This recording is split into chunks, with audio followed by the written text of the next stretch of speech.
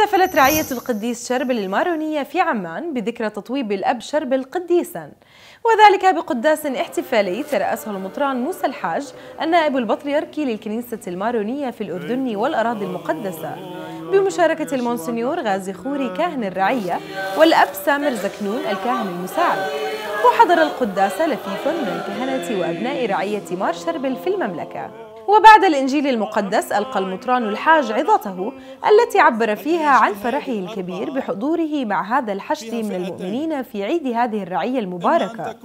طالبا من الله وبشفاعة القديس شربل صاحب العيد وشفيع الرعية أن يحفظ في نفوسنا إيماننا المسيحي وأن يقينا من كل إثم ويرشد عقولنا إلى كل حق.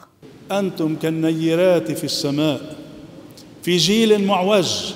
فعلا.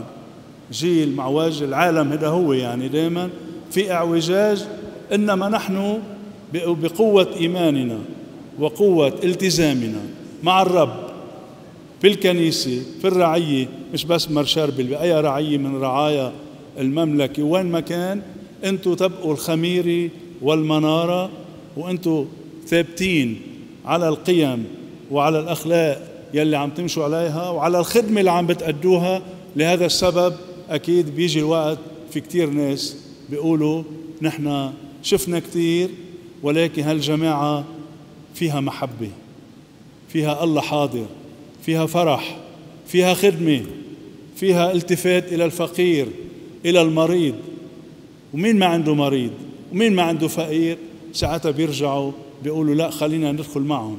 لهالسبب دوركم ومحبتكم لبعضكم البعض لو كنتوا قلال أو كتار ولكن هالمحبة هي تجذب. المثل الصالح يجذب. ونحن بحاجة إليكم بالرعية كما في العائلات التي تعيشون فيها وتخدمون كأمهات نحن بحاجة إليكم أيضا. وبعد عظة القداس تم تجديد عهود عضوات أخوية مار شربل وإعلان انتساب عضوة جديدة. ثم تقبل المطران والكهنة التهاني بهذا العيد من أبناء الرعية والحضور.